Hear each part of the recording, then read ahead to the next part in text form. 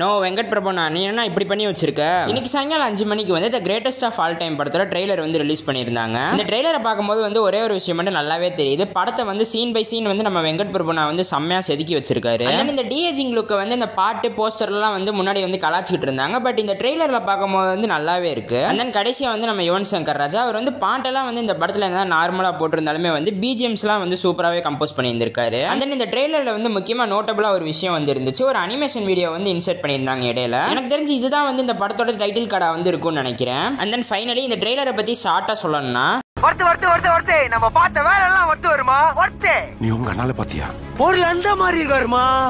Mind blowing வேற மாதிரி வருமா?